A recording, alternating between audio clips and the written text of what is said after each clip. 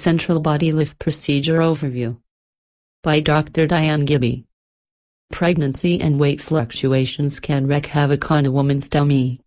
While doing crunches does help strengthen the underlying abdominal muscles, they do nothing to get rid of the excess skin and fat pockets that are often present.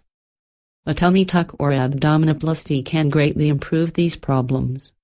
This procedure can remove excess skin and fat from the middle and lower abdomen and also tighten the muscles of the abdominal wall. This can dramatically reduce the appearance of a protruding abdomen that won't respond to diet or exercise, giving you a flatter, firmer, tighter stomach and a thinner waist as well. If there is extreme sagging of the skin on the abdomen, hips, buttocks and outer thighs, a procedure called a central body lift can be performed in conjunction with a tummy tuck. This procedure is designed to tighten loose skin to obtain more youthful contours by lifting the buttocks and tightening the hips and abdomen. This is accomplished through a strategically placed incision that can easily be hidden under a bathing suit.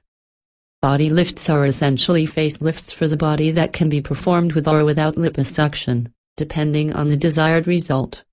The best candidates for this procedure are women who are in good health but have a large amount of loose abdominal skin, extending into the posterior hip region. The surgery is particularly good for women who, after multiple pregnancies, have stretched their abdominal muscles and skin beyond the point where they can return to normal, as well as women who have lost a lot of weight and have excess sagging skin. Recovery if only a tummy tuck is performed your abdomen will be swollen and tender after surgery. Even though you will experience some discomfort, you should start walking as soon as possible to speed the recovery process.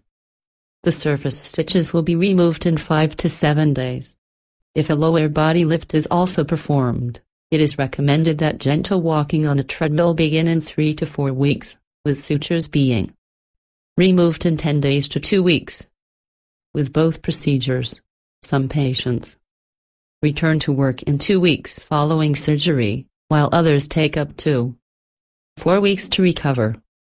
Post-surgery recovery often depends on the patient's pre-surgery health and fitness level.